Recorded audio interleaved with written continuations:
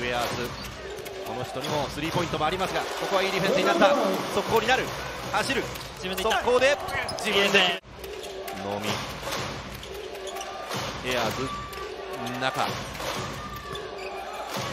ここもダブルチーム気味にボールを奪ってきました。スティール。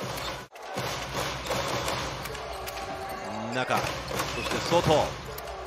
連続。今度はサイドから決めてきましたそうですね。復バックショット本人もなんか苦笑いがありましたね。まあ正面からそしてサイドからはい。1そうですね。本ずつこれはもうしっかり決めきったって感じなので、はい。まあ本当にほっとしたんじゃないでしょうかね。まずは3分20秒の出場ではあります。決めきれませんでしたロスコアレン。さあ今度は逆に速攻で茨城決めてきました。田島です。はい。中を使うダブルチーム気味引っはいかかりました。ダブルチームうまくいってますね、はい、タブスコット。タブスコット一気にゴールしたもう一度。自分で取りました。いいディフェンスが続く新潟インサイドの勝負になる。あよくやだこれを決めました。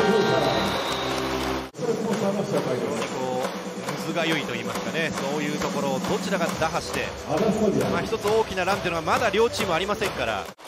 なんとか止めました茨城。ナイスパスから今度はインサイド。弾いてようやくインサイドの攻めが決まりました、はい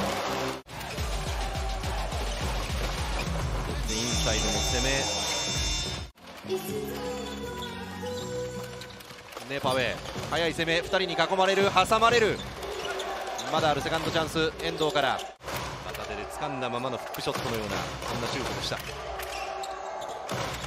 あ今度は茨城。ここはいいリズムでスリーを決めてきました、オープンになっているボールを取る。追いかける能見。左右に振ってプレッシャーをかいくよく決めました。中に入ってくる。外田島。中を使う。決めてきました。ジェイコブセンのはい平尾。外今度はアウトサイドから。これは大きい決めてきました、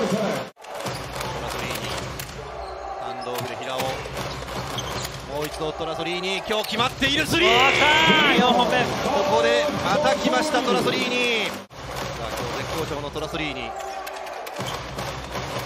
福澤福澤のスリー。決まりましたエンドワン4ポイントプレー。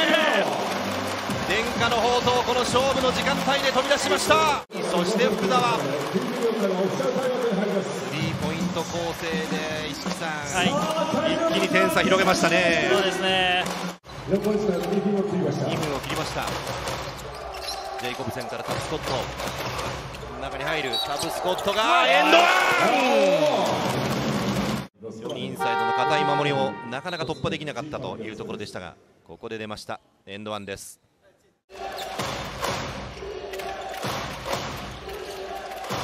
うん手を伸ばしていく。タブスコット。見事なスティール。そして速攻に行って確実に決めてきました。残り1分を切りました。ロスコアレンスティールする。ここは新潟の選手がいませんでした。福澤福澤からインサイド。あーここは完全にノーマークでした